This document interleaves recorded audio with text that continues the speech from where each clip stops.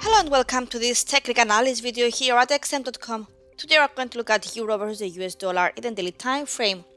Zooming into the latest move, we can see that the price is struggling to, to drop below the 1.0670 support level over the last few sessions and remains below the 20 and the 20 and 50 day SMAs. So if the price moves lower, then it may hit the 1.04 80 support level, shifting the outlook to neutral, while any move lowers and will take the price towards the 200 DSMA near 1.0315 and any drops below it will, will uh, shift the outlook to bearish, testing the 1.0220 barrier.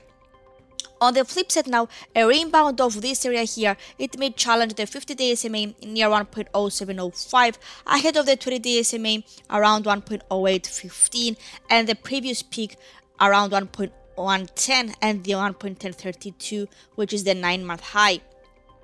Looking now at the technical oscillators, the MACD is holding near its zero level below its trigger line, while the RSI is moving sideways below the neutral threshold of 50.